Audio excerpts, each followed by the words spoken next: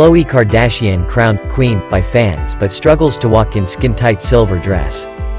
Khloe Kardashian was crowned a queen by her die-hard fans as she shared snaps of her latest outfit, but struggled to walk in the skin-tight gown. The 39-year-old took to Instagram to upload a carousel of images of her new silver floor-length area dress. Priced at $1,995, 1,580 pounds, which hugged her curves as she posed in a dimly lit mirror.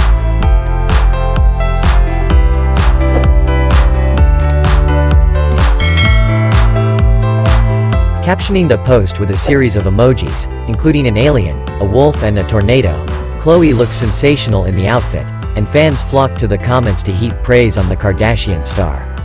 Kim pushed her food toward Khloe and said, Here, I'll split the difference. Khloe was shocked and said, I don't want it. That's how I know you're not a real friend. Real friends don't give friends Vienna wafers. When Kim attended the 2022 Met Gala, she underwent an extreme diet so she could fit into Marilyn Monroe's dress.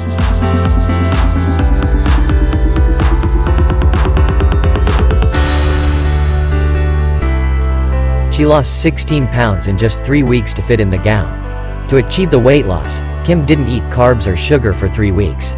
She also admitted to wearing a sauna suit twice a day, running on a treadmill and eating the cleanest veggies and protein. When Kim attended the 2022 Met Gala, she underwent an extreme diet so she could fit into Marilyn Monroe's dress. She lost 16 pounds in just three weeks to fit in the gown. To achieve the weight loss, Kim didn't eat carbs or sugar for three weeks.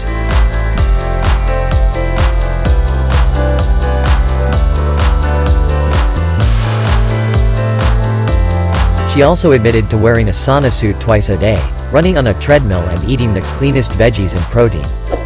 However, not everyone was so critical. One fan said, I beg to differ. I agree with Khloe.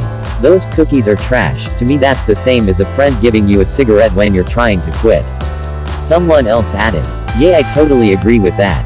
I get where you're coming from. I do hate when you're trying to be healthy and someone dogs on it and taunts you with food. That's what we can convey. Don't forget to like, comment, share and subscribe, so that we are enthusiastic in conveying other trending news. Thank you.